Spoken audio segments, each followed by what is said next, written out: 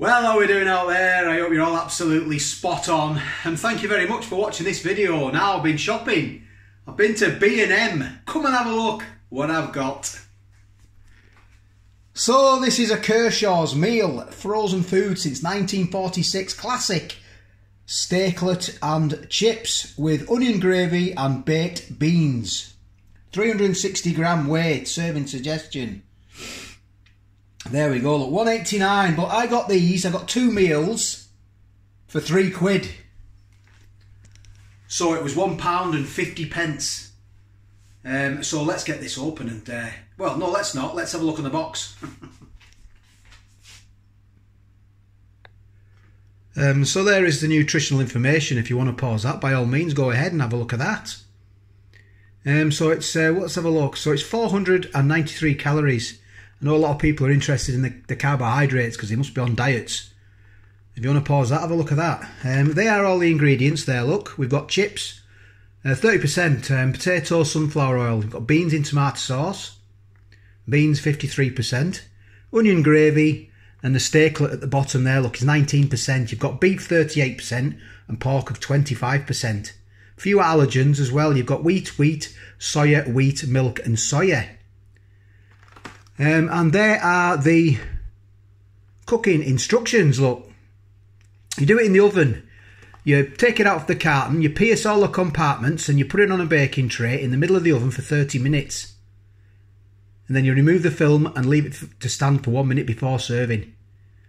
So that is exactly what I'm going to do because I've got a few jobs to do. Uh, I'm going to put it in the oven and just forget about it for half an hour.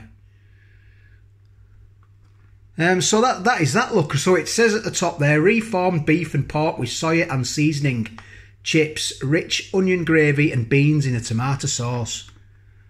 So I've never had one of these. It does say food fact as well there. that This product may contain traces of nuts and seeds. Although every effort has been taken to remove all bones, some may remain. Seeds and nuts. Wow. Um, so that is that look. So let's get it open and have a look, see what we've got. Let's see this.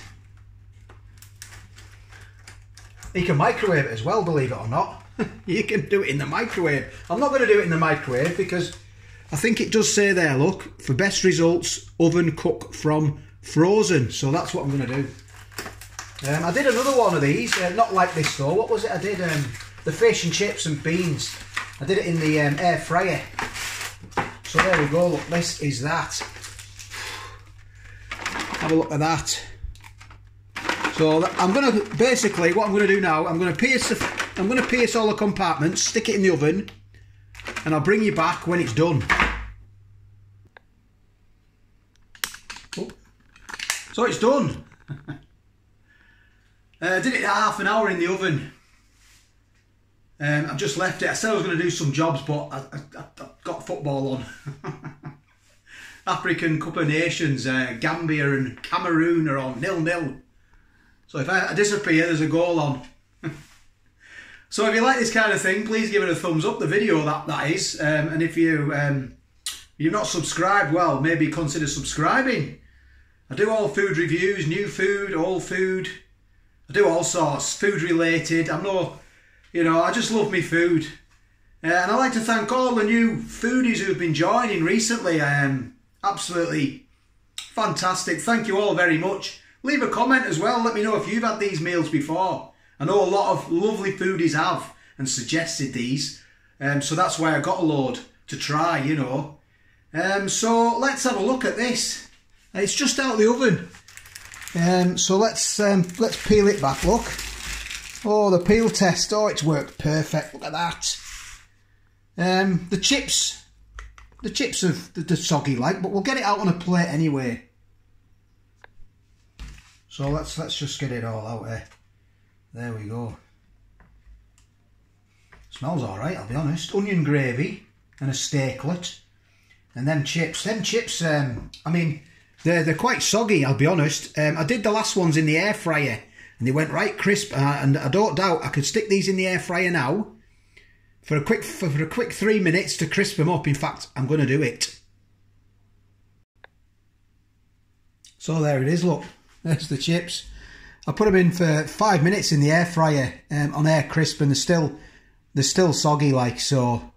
Um, I think the better option is with these, putting them in the air fryer, taking it out of the compartment, and putting these in the air fryer. Well, leaving them in the compartment because it's it's got gravy on, and just doing them in the air fryer to start with. I reckon ten minutes will, will do them.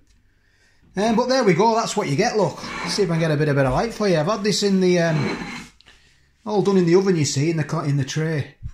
That's what you get. Look, getting dark now as well. Late today doing this one. So I've made some bread and butter as well because that's compulsory in it. But I'm going to try it first. See what it's like. Let's try this steaklet. I know Iceland do a steaklet and chips, don't they? Uh, and I tried that one it was pretty good.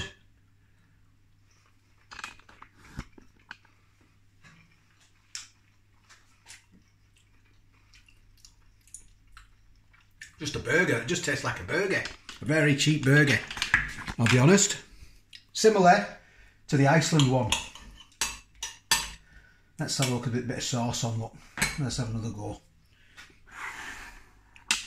£1.89 or 150 if you buy two. Mm. Nothing wrong with that. I grew up on burgers like that when I was a kid. The real cheap ones are tasty though. Um, let's try the beans.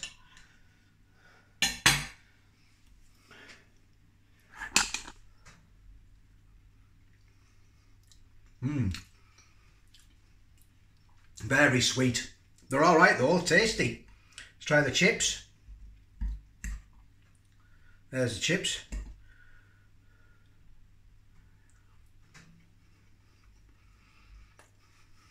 Hmm.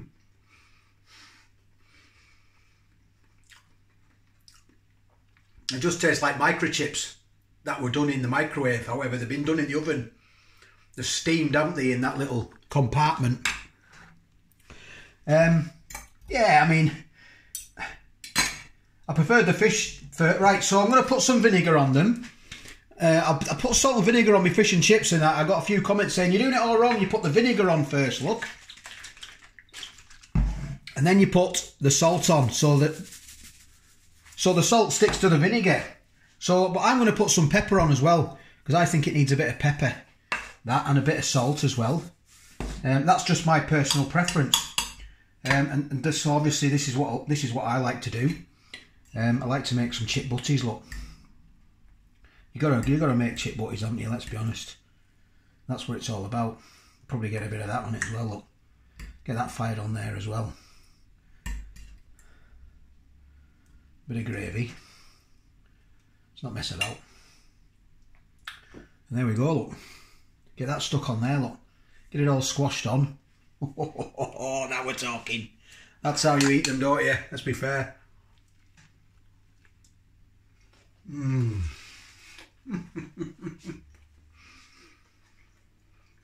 Mmm. Nothing wrong with that. Nothing wrong with that at all.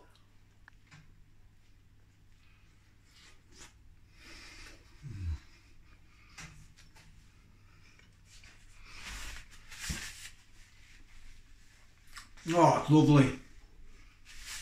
That gravy's nice as well. I mean, look at it. It doesn't look great, does it? Mmm. It's lovely. Can't fault it, to be honest. I mean, I can fault it. I mean, well, no, I can't really. I can't. Nothing wrong with that. For a pound fifty, remember? A pound at fifty. I'll buy that again, definitely. Um, yeah, it's a good eight and a half. A good eight and a half out of ten, and I'd buy it again. Nothing wrong with that at all. So thanks very much for watching. I'm to sl slap the rest of that between that other bread and butter, and I'm going to get it in me. So thanks. Take care. All the best, and I'll catch you on the next one.